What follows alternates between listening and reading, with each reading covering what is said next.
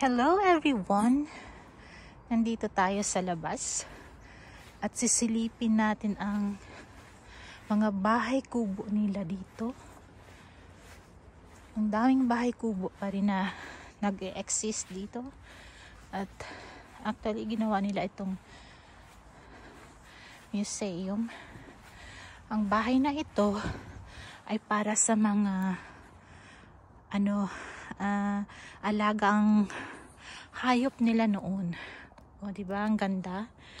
Tingnan natin ang loob. So, ayun ang loob ng kapanahunan. Ayun, mayroon pang ano dyan, oh, gamit.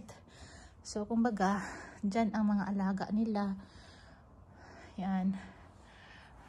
So, it means hindi rin kalayuan kung ano ang sitwasyon noon kaysa mga ngayon na farm. Siyempre dito malamig ang lugar kaya nakaganihan talaga yung paggawa nito. Ang ganda guys. Oh, buong bahay. So ganun ang itsura. Ang itsura nila nung kapanahunan. Dito ang mga hayop nila.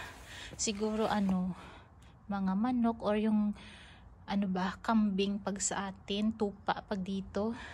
Yan. Siguro yun yung mga laman yan. So, ayan. Tinatago pag taglamig. So, yun ang buong bahay. Yan siya. Napaka-stable pa rin. Kasi minimaintain naman. O, di ba? Ang ganda niya. Ang ganda tingnan ng paligid. So, yun ang buong bahay. So mula dito, salamat uli sa inyong panonood. Thank you!